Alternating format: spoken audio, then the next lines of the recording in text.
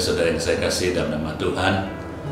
Senang sekali bisa berjumpa kembali dalam renungan tengah minggu tepat pada malam hari ini. Bagi Anda yang terbiasa ikut ibadah hari minggu Anda akan tahu bahwa di akhir ibadah biasanya pengkhotbah akan mengucapkan doa berkat. Doa berkat itu bunyinya demikian Tuhan memberkati engkau dan melindungi engkau Tuhan menyinari engkau dengan wajahnya dan memberi engkau kasih karunia.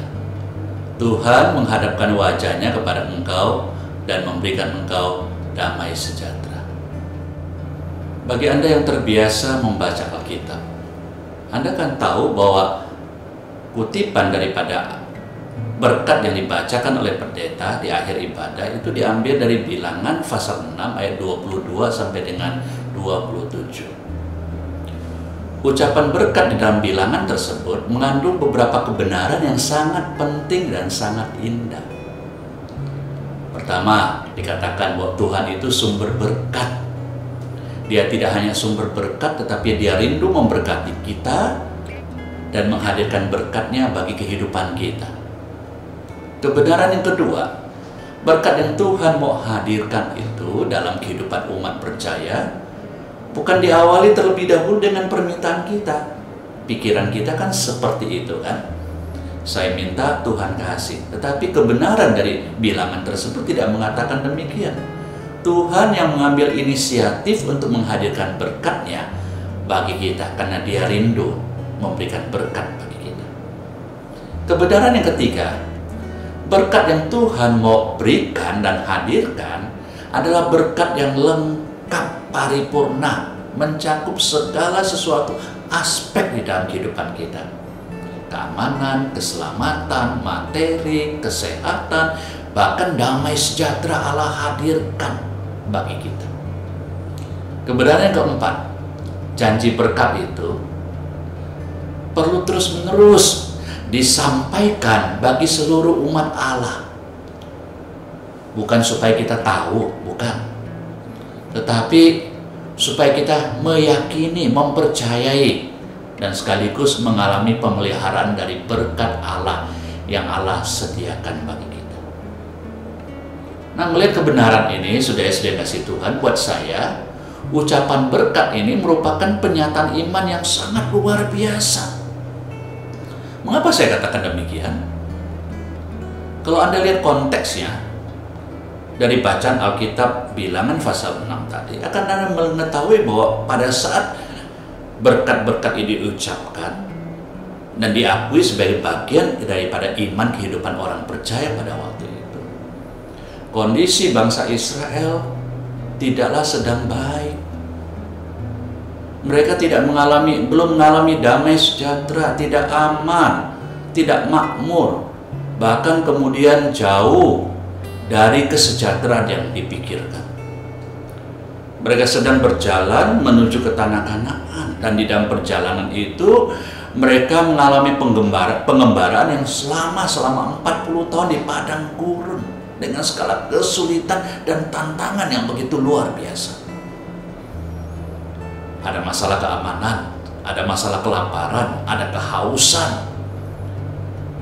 Tidak gampang mereka menghadapi kehidupan yang demikian. Intinya, jemaat yang kasih Tuhan, mereka mengalami kesulitan-kesulitan pada waktu mereka menerima berkat janji berkat itu dan ketika mereka mengimani berkat itu. Tidak gampang di tengah-tengah kondisi sulit ada Tuhan yang mengucapkan berkat dan kemudian kita begitu meyakini berkat itu padahal kita belum mengalaminya. Pertanyaannya, kita melihat mereka begitu meyakini janji berkat itu. Mereka meyakini Allah sebagai sumber berkat dan apa yang akan Allah kerjakan melalui pemeliharaan dan kehidupan mereka sehari-hari.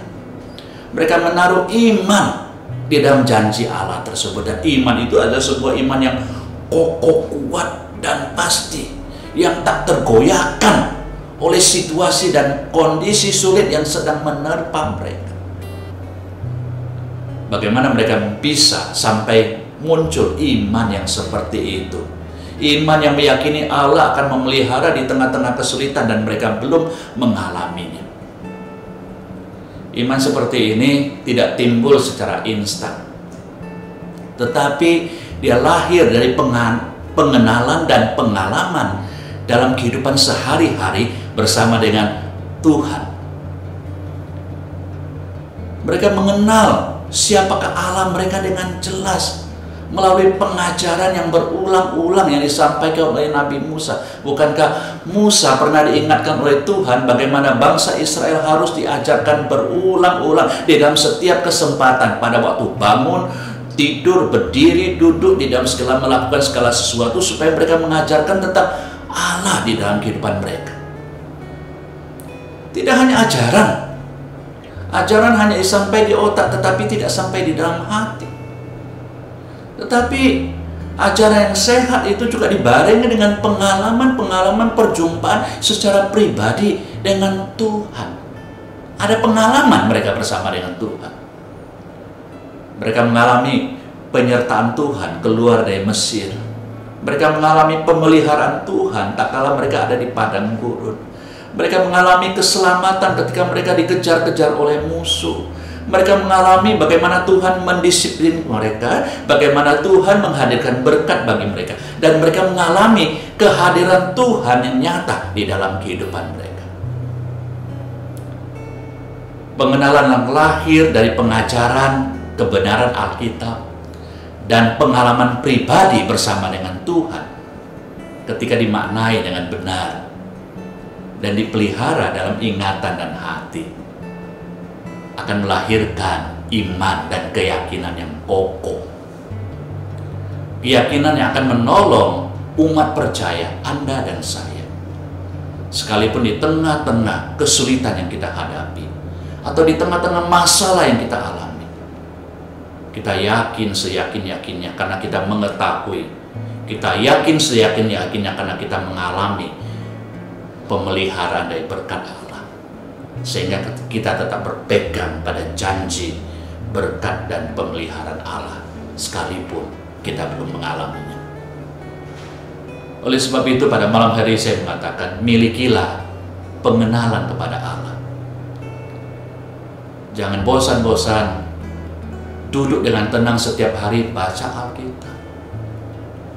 Merenungkan Alkitab merenungkan kebenaran-kebenaran yang ada di dalamnya sehingga engkau mengenal siapakah Allah yang menghadirkan berkat itu.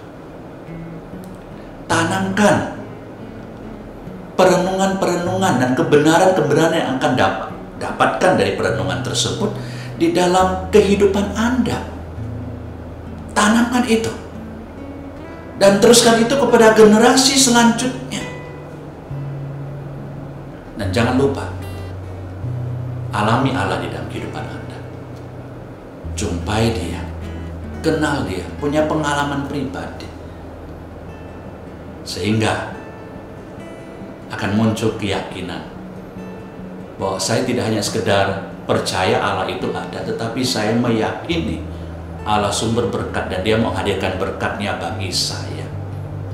Dan kebenaran ini akan terus-menerus menggema dalam kehidupan kita dan memberikan kepada kita fondasi yang kokoh untuk tetap percaya kepada pemeliharaan Allah di tengah situasi apa pun termasuk situasi yang sangat sulit dan Anda dengan iman tidak akan tergoyahkan oleh godaan-godaan yang lain. Selamat meyakini Allah ada Allah hadir dan Allah akan menghadirkan berkat dan selamat mengalami pengalaman berkat-berkat Allah di dalam kehidupan Anda. Tuhan memberkati. Mari kita ambil saat teduh saja.